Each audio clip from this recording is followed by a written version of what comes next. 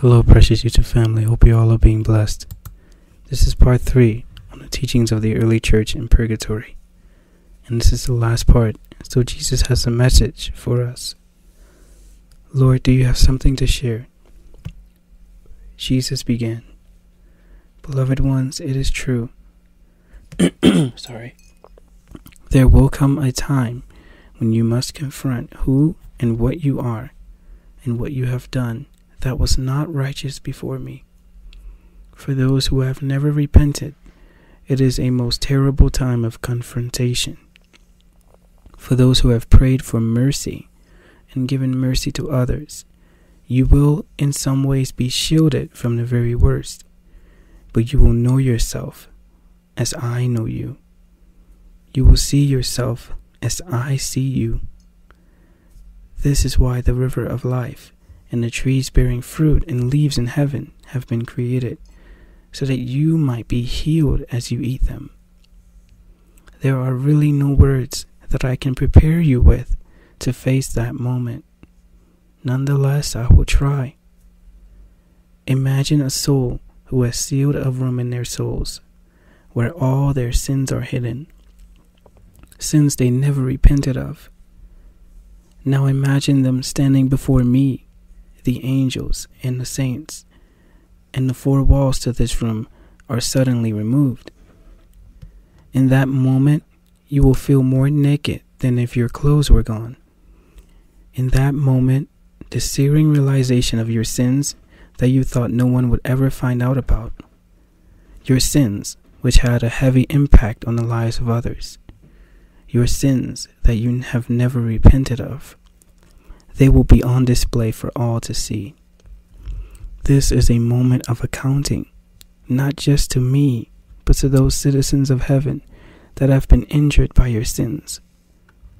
Dear ones, when you all of a sudden remember a sin from your childhood or earlier years, quickly come to me and repent of it. Ask for forgiveness, and if you can, in some way, repair the damage you did Make a resolution to repair it and then follow through. This terrifying moment does not have to happen.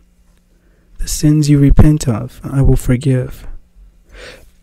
Never more to be mentioned again. Even as I have written, though your sins be as scarlet, I will make them white as snow. I will cast them into the abyss of my mercy, for they are no more. In this moment, and here I think he's going back to the time when the four walls are removed. He continues, In this moment, heat will rise up from within you until you feel like you are standing in an overwhelming fire. You are saved, but unrepentant of all your sins, and now they must be brought up to deal with. The pain is like no other. You are uncovered, the deepest secrets exposed. There is nowhere to hide. You are standing before God and those you've injured.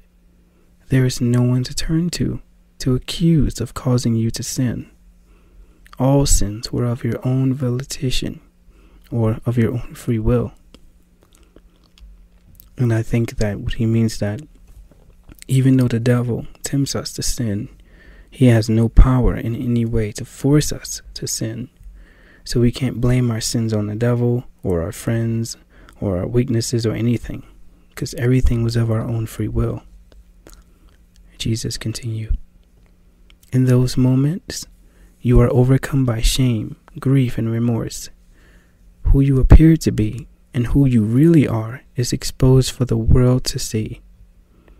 I want to I want to spare you of this, my people, but you must come to me and repent and do your best to make amends for those you've hurt all the words you ever spoken behind someone's back, the gossip, the lies, the slander, all of it comes crashing in on your head. There is nowhere to run and hide, for you are standing before Almighty God in the great cloud of witnesses.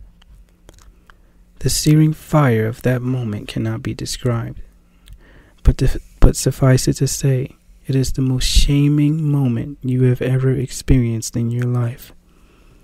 Before you stand your mother, brothers, sisters, aunts, uncles, best friends, employers, all the pets you've had, all your sexual partners. There you are, with the fire of deserved accusation spreading throughout every limb until you can no longer stand under the weight and burden of it and you collapse. This is what happens to those who do not repent of their sins, but keep hiding them, thinking no one will ever know. And there are yet other souls who have repented, but never learned to be kind.